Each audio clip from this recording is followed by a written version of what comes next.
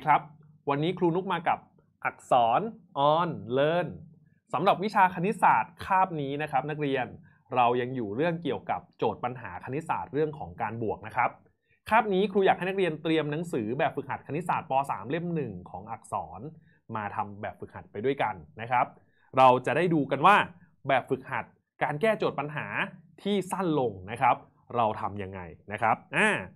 การแก้โจทย์ปัญหาครูขอทวนสั้นๆนะครับ เรามีขั้นตอนการแก้อยู่ 4 ขั้นตอน ขั้นตอนแรกครับ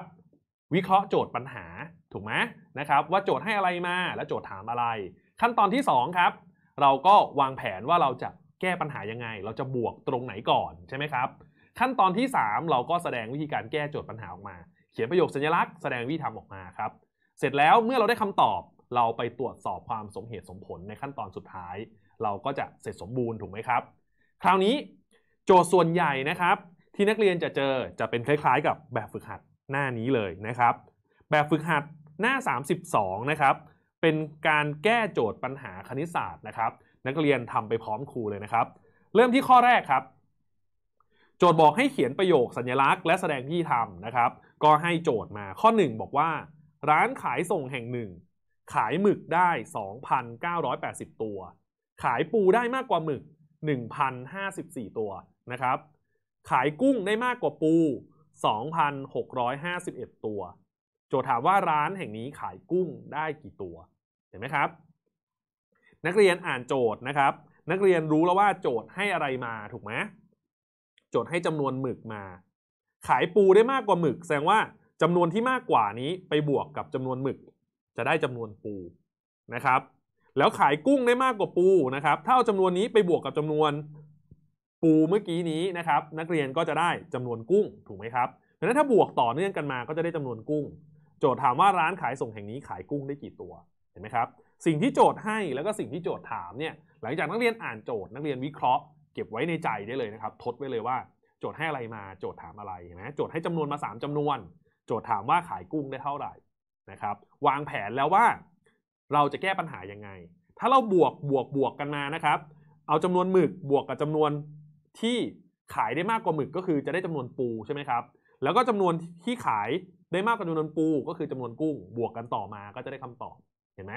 เราอ่านโจทย์ขั้นตอนที่ 1 ขั้นตอนที่2เนี่ยไม่ต้องแสดงวิธีออกมาว่าเราวิเคราะห์ยังไง นักเรียนเขียนประโยคสัญลักษณ์เลยครับอ่าสองพันเก้าร้อยแปดสิบนะครับ สองพันเก้าร้อยแปดสิบวกกับหนึ่งพันห้าสิบวกกับสองพันหกร้อยห้าสิบเอ็ดก็จะได้จำนวนกุ้งตามที่โจทย์ต้องการ แล้วนักเรียนก็แสดงวิธีทำเลยครับก็จะสั้นลงเยอะมากเลย ปกติเวลาเราแก้โจทย์ปัญหานะครับ แสดงวิธีการแค่นี้ออกมาก็เพียงพอแล้วใช่ไหมนะครับเว้นแต่ว่าโจทย์สั่งให้เราแสดงทั้ง 4 ขั้นตอนเหมือนกับคาบก่อนๆนะครับ โอเค เราก็เขียนอธิบายครับในวิธีทำว่า ร้านขายส่งขายหมึกได้นะครับ ร้านนะครับ ขายส่ง ขายหมึกนะครับสองพันเก้าร้อยแปดสิบตัวนะครับ ขายปูได้มากกว่าหมึกเห็นไหมครับ1,054ตัว เพราะฉะนั้นถ้าเอา2จำนวนนี้บวกกันนะครับ ก็จะเป็นจำนวนปูถูกไหมครับ แสดงว่าขายปูได้ใช่ไหม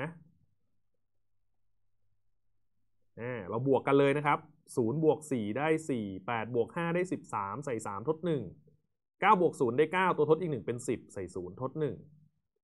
2บวก1เป็น 3 ตัวทดอีก 1 เป็น 4 นะครับ ได้ 4,034 ตัว นี่คือจำนวนปูนะครับ แล้วก็ขายกุ้งได้มากกว่าปู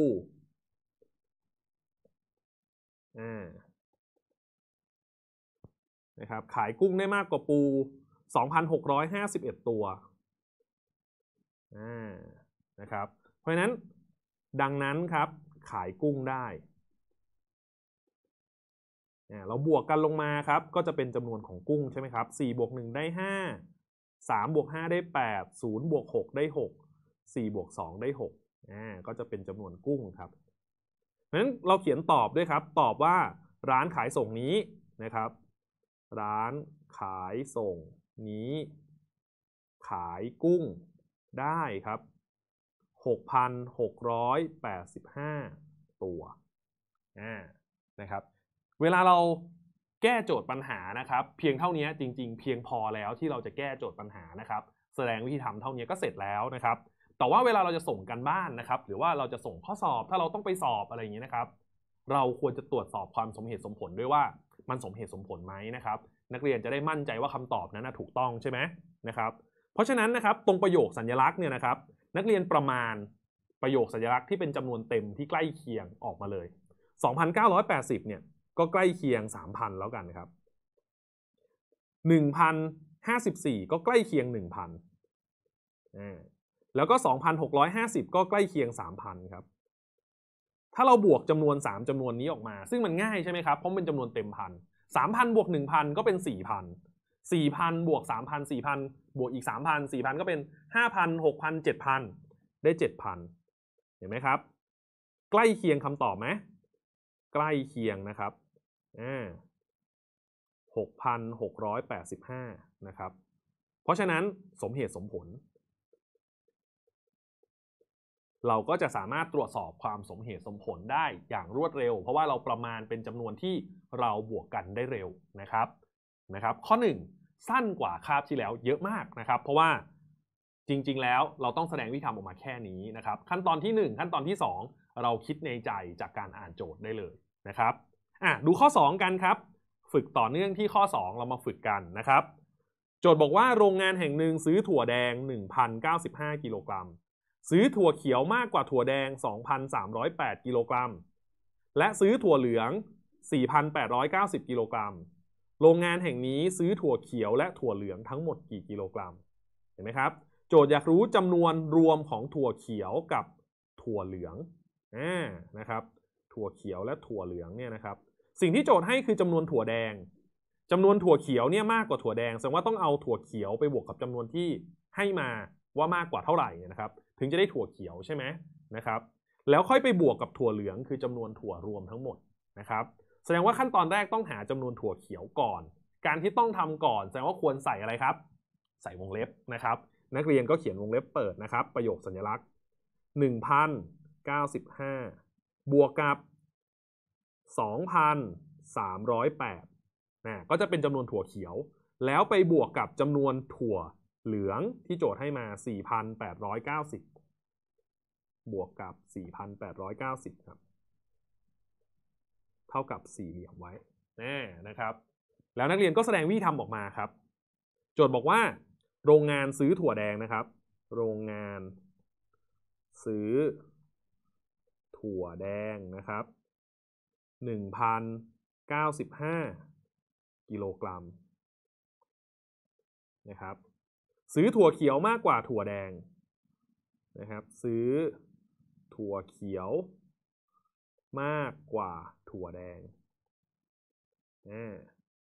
สองพันสามร้อยแปดกิโลกรัม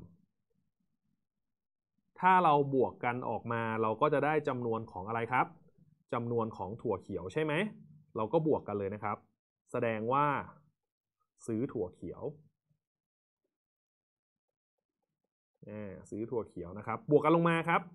เขียนเครื่องหมายบวกขีดเส้นใต้5บวก8ได้ 13 ใส่ 3 ทด 1 9 บวก 0 นะครับ ได้ 9 ตัวทดอีก 1 เป็น 10 ใส่ 0 ทด 1 0 บวก 3 ได้ 3 ตัวทดอีก 1 เป็น 4 1 บวก 2 ได้ 3 นะครับ ได้ 3,403 กิโลกรัมนะครับ นี่ก็คือการบวกในวงเล็บพอดีเลยนะครับ เราอยากเอาไปบวกกับจำนวนถั่วเหลืองต่อ เราก็มาเขียนว่า โรงงานซื้อถั่วเหลืองใช่ไหมครับ โรงงาน ซื้อ ถั่วเหลืองนะครับ4,890 กิโลกรัม กิโลกรัมนะครับ รวมนะครับ ซื้อถั่วเขียวและถั่วเหลือง ถั่วเขียว และถั่วเหลืองนะครับ นักเรียนก็บวกกันลงมาครับบวกกันลงมา3บวก0ได้3ครับ0บวก9ได้9 4บวก8ได้ 12 ใส่ 2 ทด 1 3บวก4ได้ 7 ตัวทดอีก 1 เป็น8อ่ากิโลกรัม ตอบครับนักเรียนก็เขียนนะครับ โรงงานทวนคำถามนิดนึงครับ ซื้อ ถั่วเขียว และถั่วเหลือง รวมกัน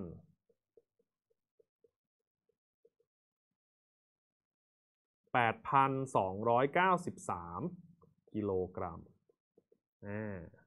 นะครับ ได้คำตอบเรียบร้อย พอนักเรียนได้คำตอบแล้วนะครับ เราไปตรวจตรวจสอบความสมเหตุสมผลกันนะครับ วิธีการตรวจสอบความสมเหตุสมผลอย่างรวดเร็วนะครับ นักเรียนก็เอาประโยคสัญลักษณ์เนี่ย ประมาณเป็นจำนวนเต็มนะครับ ใกล้เคียงจำนวนใกล้เคียงเต็มพันหรือเต็มหมื่นหรือเต็มร้อย ที่เราบวกกันได้ง่าย ๆ อย่างรวดเร็วนะครับ เราจะได้ประมาณดูว่าสมเหตุสมผลไหมคำตอบของเรานะครับ จากประโยคสัญลักษณ์นะครับ 1,095 ครูประมาณเป็น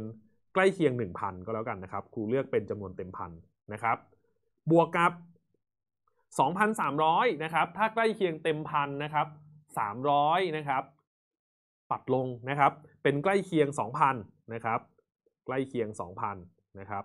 บวกกับ 4,890 ครูว่า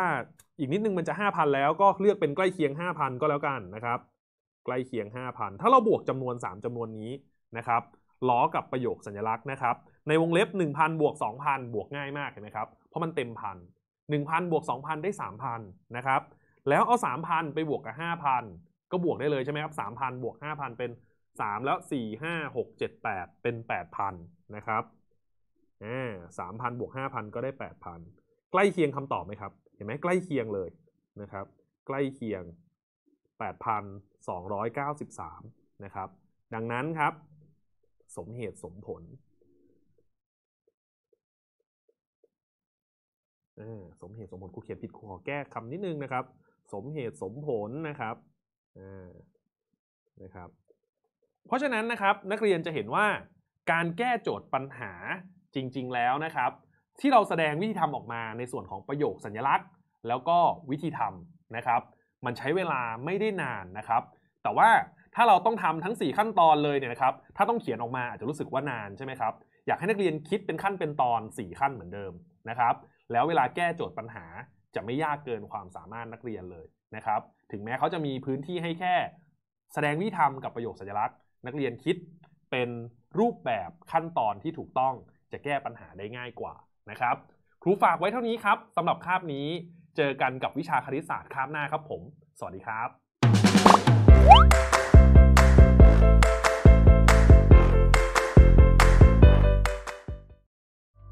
อย่าลืมกดติดตามและกดกระดิ่ง เพื่อไม่ให้พลาดสาระความรู้ดีๆ จากพวกเราอักษร Education